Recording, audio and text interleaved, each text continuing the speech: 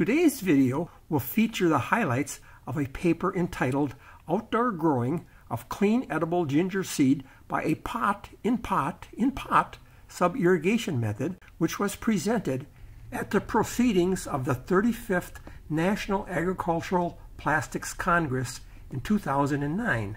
This growing method doesn't require pumps or electricity. There is a link to the paper in the video description. First, a little background. In Hawaii, edible ginger is grown commercially in deep, loose soil. Seed-borne and soil-borne diseases may cause significant yield losses. The first step in disease control is to plant clean seed pieces which are free from bacterial wilt, nematodes, and other pathogens. We will explore a pot in pot in pot growing method to grow clean ginger seed pieces. We will start with a 10.3 liter plastic pot with no drainage holes. A microtube connected to an irrigation tube is inserted into the pot and supplies a 5 centimeter depth of nutrient solution and this is maintained by a float valve at the end of the irrigation tube. A 9.5 liter plastic pot that has drainage holes nests inside the original pot. Notice that the 5 centimeter depth of nutrient solution flows into this pot. Well, so far we have a pot-in-pot arrangement. Next, an upside-down 3-liter plastic pot rests on the bottom of the previous pot. This becomes the pot-in-pot-in-pot arrangement that you were probably curious about. The green pot will be filled with a peat perlite growing medium. The upside-down pot will save 3 liters of growing medium and also provide an airspace at the bottom of the pot. The growing medium on the outer peripheries of the upside down pot is wet by the nutrient solution and this automatically moistens all of the growing medium in the pot by capillary action. Here is the 10.3 liter pot with no drainage holes. A microtube which supplies nutrient solution is inserted into the pot. A low profile 3 liter plastic pot conveniently fits into the 9.5 liter pot which has drainage holes.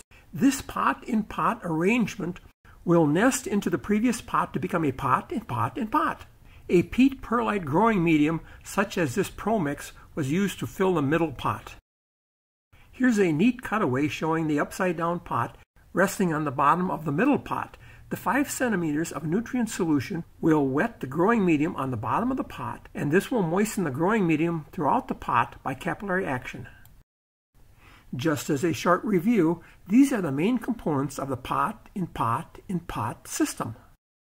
This short film clip from another project demonstrates how the 50 gram seed pieces are planted into the pot.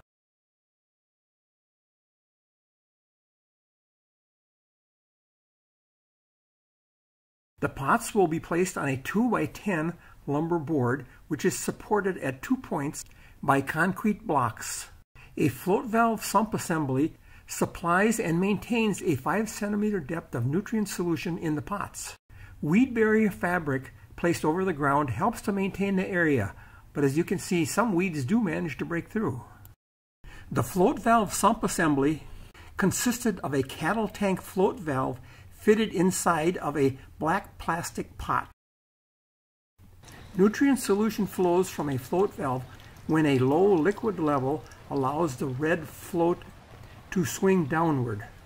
A rising liquid level causes the red float to swing upward and therefore shut off the flow of the liquid.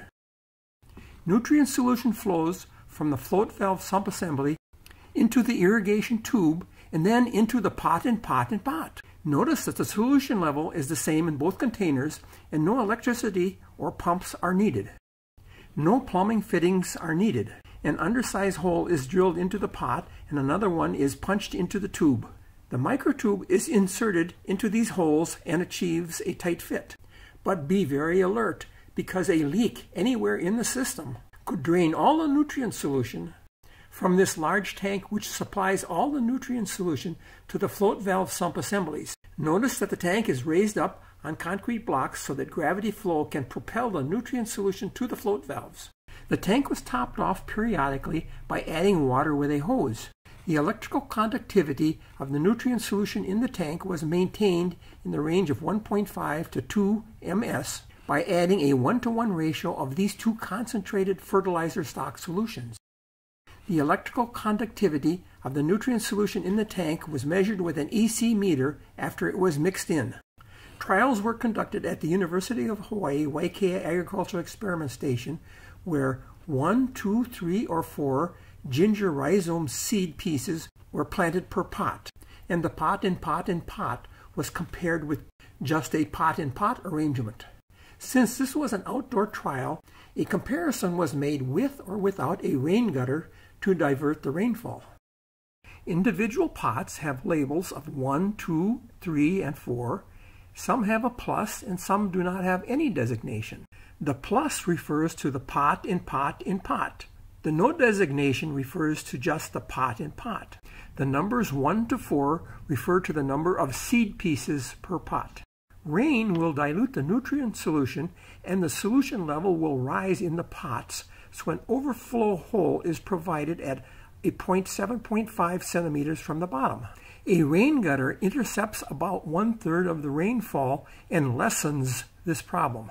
Seed pieces were planted in early April and the ginger plants were growing very nicely by June 27th.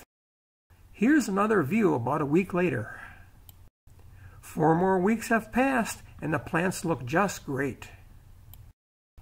After another 17 days, the pots with three and four seed pieces appear to have more foliage than the pots with one and two seed pieces. Another five weeks have passed and the plants seem to be growing very well. But wait, there seems to be something going on with the plants on the left. There's saucers under the pots. In some of the treatments, the rhizome growth has been so great that it split both the inside and outside pots. It takes a pretty large force to break these pots. The saucer prevented the nutrient solution from leaking out and also provided a way to sub-irrigate these pots. I guess now we have a pot in pot in pot in saucer method. Here's a view of the project just a little under six months from planting. The ginger growth looks very good.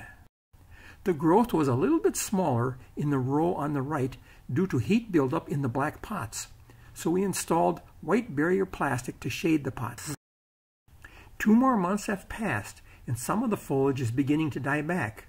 It's getting close to harvest. By this time, more of the pots have split. It's pretty clear that we should have used larger pots. After eight and a half months, the foliage was cut and the crop was terminated.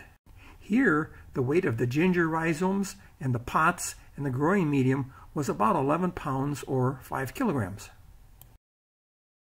The first step in harvesting is to depot the ginger. A view from the bottom shows some roots growing in the upside down pot.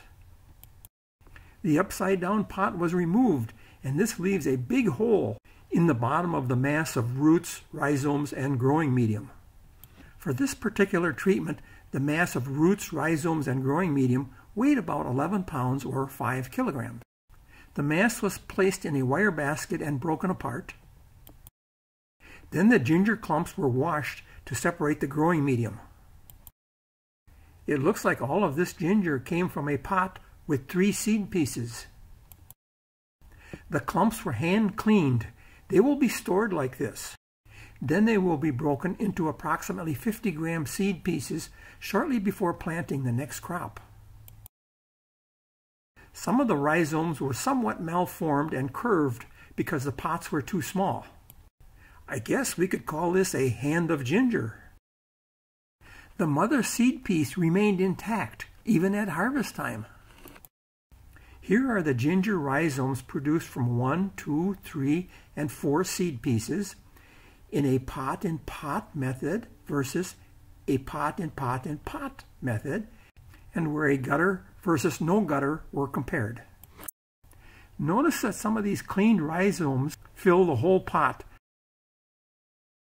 Ginger is normally hilled to spread out the rhizomes, and this could be done by planting in a partially filled pot and making several additions of growing medium. A more compact rhizome mass will result from not hilling, and that is acceptable for seed ginger. Data from three years showed that planting only one seed piece per pot resulted in the lowest yields, and the highest yields were obtained when three or four seed pieces were planted per pot. When comparing the gutter versus the no gutter, significantly higher yields were obtained in the gutter treatment during 2006 and 2007, which were two wet years. The pot in pot in pot treatment with the upside down pot produced higher yields in two of the three years than the control pot in pot treatment, and there was a savings of growing medium. It looks like there's some benefit to having an airspace in the bottom of a pot. Individual pots with the highest yields resulted when three or four seed pieces were planted, when an upside down pot was used, in other words, the pot in pot in pot system, and when a gutter was used. Here are some conclusions.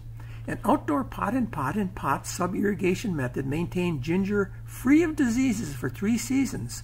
The highest absolute ginger rhizome yields occurred when upside down pots were placed in 9.5 liter growing pots and rainfall was diverted by a gutter from pots planted with three or four clean seed pieces. The 9.5 liter pots were too small and this resulted in competitive yield loss, burst pots, and somewhat malformed rhizomes. That's all for now, so I bid you aloha.